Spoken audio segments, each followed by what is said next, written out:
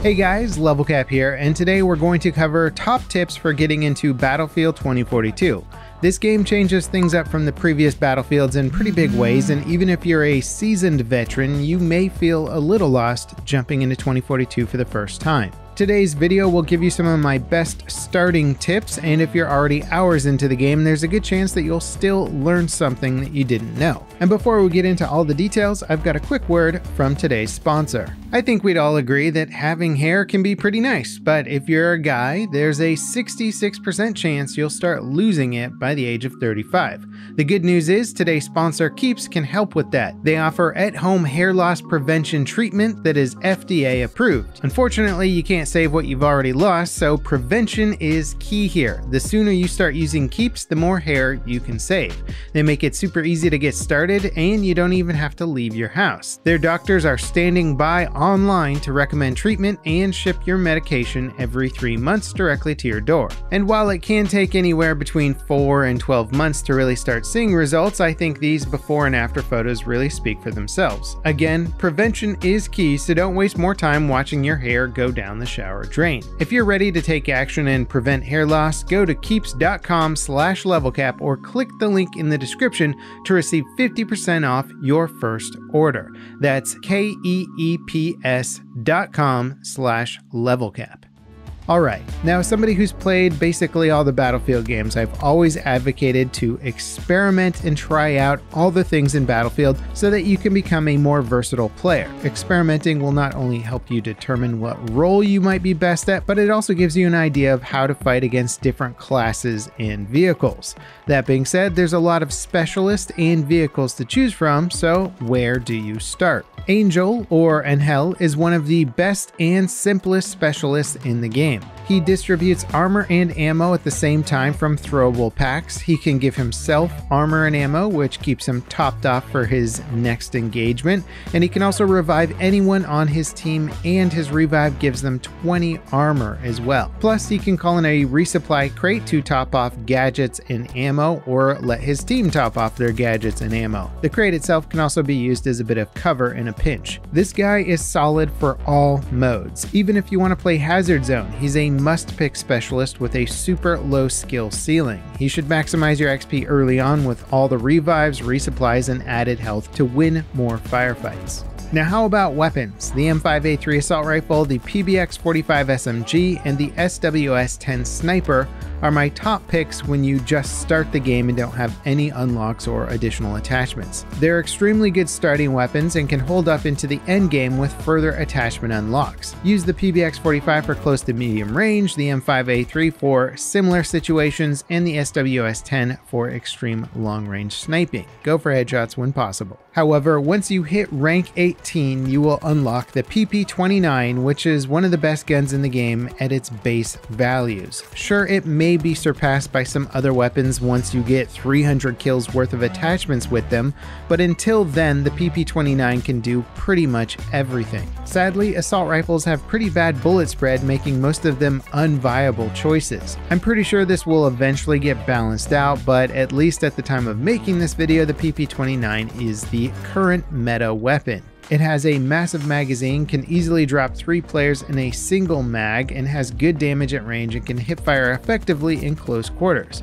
Aside from sniping, it can pretty much do everything. And speaking of sniping, the SWS-10 is a fantastic rifle, but once you unlock the DXR-1 at rank 24, well, there's no going back. The muzzle velocity, damage, and low drop makes this a very effective sniper rifle even without any attachments. Sniping and breakthrough will yield a target-rich environment where you can just absolutely mop up kills. The SVK is also a good DMR but requires decent skill to be effective compared to the PP-29. That being said, using its base high-powered ammunition, it's a two-shot kill at pretty much any range. Now sure, some of these unlocks that you get at higher levels sound good, but what about actually ranking up and getting to those higher levels? 2042 can feel like a bit of a grind since there aren't as many weapons and you won't be earning one each rank and the good ones are few and far between. Maxing out your point earning can make this process go by a lot quicker, and fortunately, there's a lot of different ways to go about it. From my personal testing, playing Hazard Zone is the fastest way to rank up, but it's also a little slower for getting weapon attachments since you're getting less kills per match, and also you're probably not going to be experimenting with as many different weapons while playing Hazard Zone. The mode also might not be your cup of tea being an extraction royale and all. That being said, if you're with a good squad and winning rounds, you can get anywhere from 20,000 to 35,000 XP per 15 minute match. This is incredibly good XP for the time spent playing. However, if you're really not feeling Hazard Zone, All Out Warfare can be played for decent XP generation as well.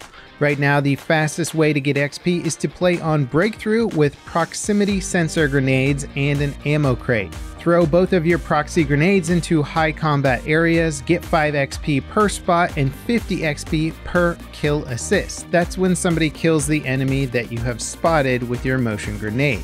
When the target saturation is extremely high, the point generation is through the roof. And in my opinion, the points awarded for this are too much and probably will get nerfed since some of my best killing and vehicle destruction games don't even come close to a decent round of just throwing proximity sensor grenades. Use your ammo crate to regenerate your grenades and keep throwing them. You can even combine this with other methods of spotting. Many vehicles have a spotter seat. It's seat 4 on a tank and seat 2 in the Nightbird helicopter.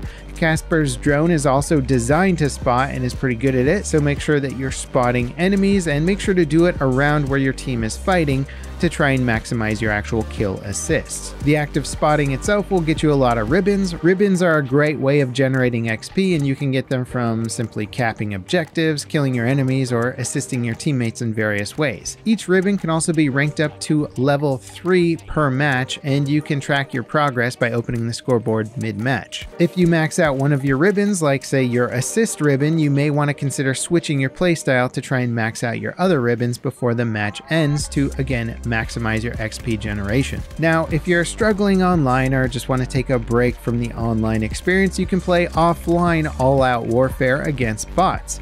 Bringing a machine gun or vehicle into the fray will allow you to kill bots at ridiculous speed. To balance things out, you cannot generate ribbons in this mode or unlock weapon attachments at least beyond the first few per gun, but you can simply farm bots so quickly that you can get about a thousand XP per minute if it's a good map for getting kills. Breakthrough will maximize your target saturation as well. However, solo play does have an XP cap limit, so just be aware of that if your UI brings that up at some point. Now, when playing online, you might be tempted to match into Breakthrough exclusively for increased target saturation, expecting to get more XP. However, Conquest will net you a lot more flag cap points, and also the micro battles between two points can be very intense and net a lot of kills without the extremely punishing environment of Breakthrough. So be sure to switch between the two modes and see which one you like, or just mix it up for variety. Now sadly, DICE has turned off a lot of the unlock and XP generation potential in Portal due to the massive exploits. If you Google how to rank up or get XP fast, you might find some videos made on launch day showing you how to make a Portal server to basically farm bots and unlock stuff at ridiculous rates. DICE had to massively limit XP generation and unlocks in Portal to prevent people from basically breaking the system, but at the same time they made it so that you can't really get weapon unlocks playing TDM either, which is the traditional way that I've always gotten my weapon unlocks because you need to kill players to get weapon unlocks, and TDM is the fastest and most enjoyable way to do that, in my opinion. Now, DICE is looking for a solution to this problem, and it's possible that they'll implement some standardized game modes with XP generation turned on and unlocks turned on,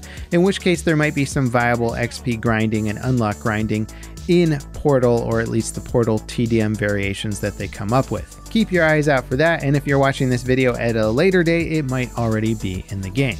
Now, my next tip might sound like a no-brainer, but if you're not taking advantage of 2042 vehicles, then you're missing out. Many of them are amazing, even in their basic setup. I have my Nightbird fully maxed out, but I still use its based weapons because they're honestly some of the best. I've gone on 40 plus kill sprees in that helicopter with its base setup, so if you're a decent pilot, man, pop into that Nightbird and you will absolutely decimate. That being said, flying is a higher skill ceiling, and if it's not your thing, the basic transport vehicles are often available and crazy powerful. The LATV-4 Recon is fast and comes with a mounted minigun that pulverizes enemies. It is, however, easy to get shot out of the driver and gunner seat, so it makes sense to spin it around so the rear is facing your enemy while you mow them down. You can also call it in on objectives, including elevated positions to use as a turret. And once you farm enough kills with this vehicle, you can actually equip a 30mm cannon on it that decimates everything. I prefer the 30mm over the 50, the 50 being the last unlock you get, as the 30 allows for extremely effective air and infantry kills. It's such an inexpensive vehicle but can absolutely decimate, especially once it's fully upgraded. Now, the hover tank, if you're not aware of this by now, is so good it's practically a meme. Its armor protects it from minigun fire and anti-personnel rockets and grenades, so really heavy munitions are the only way to take them down, unless you get lucky and shoot out the driver and gunner, but it's extremely tricky and nearly impossible when it's moving fast. You'll need to rank up a little before you unlock this vehicle, but if you see one driving by, feel free to pop in for some good killing potential. And while the hover tank can be fun to drive solo and park on an objective and use its gun to mow people down, it's so much better when playing with a friend. Getting someone on the gun while the other person dodges and weaves will make you a nearly impossible target to hit. In all honesty, I wouldn't be surprised if this vehicle gets a nerf, so use it while you can.